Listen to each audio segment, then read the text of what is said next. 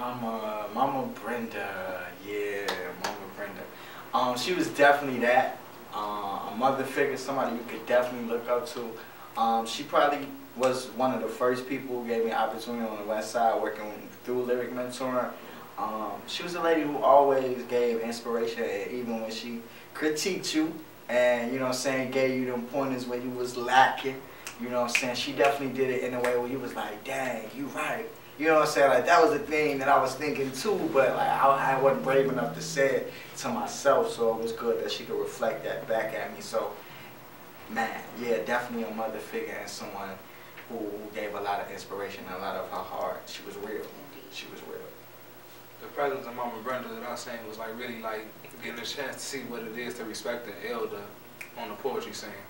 You know, whenever she walked into the room, you always knew it was like she exuded that I'm like a mother on the poetry scene and she just exuded this presence. Mm-hmm. So to the point where the last time I even seen her living, uh, months before she passed, I just I came up to her and like, Mama Brenda, if I said about you, that mean I'm automatically in the VIP section.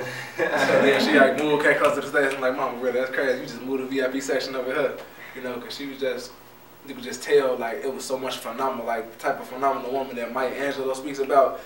You could tell that Mama Brenda just embodied that. It was just amazing. She was the mentor's mentor. So without her, a lot of what goes on on the Chicago poetry scene wouldn't exist a lot of people would not have been touched the way that they were touched. And I know we wouldn't have been touched the way we were touched because she touched the people that teach us yes. so much.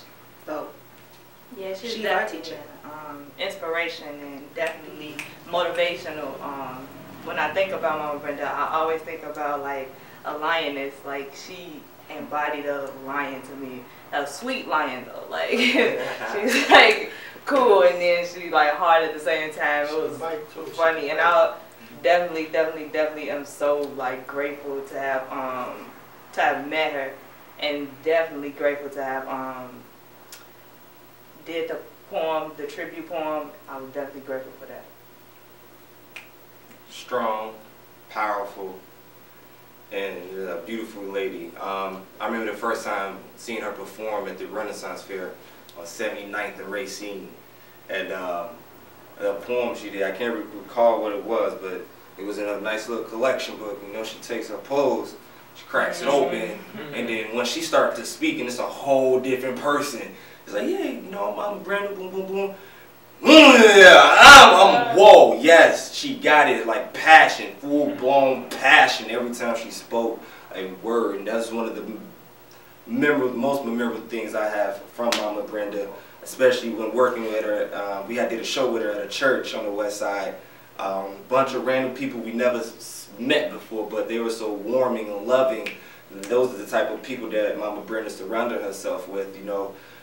The community loved her. Like, she touched so many people's lives, from babies to the elders that we see as elders, and so forth, you know. So, you know, um, her being on the west side, me being on the south side, I saw it when I could, but when I did see it, when I had got the chance to hug her, it was a, a moment that you could not forget. She's so warm. She was everybody's mom. She made you smile no matter what. And we miss her. I love her.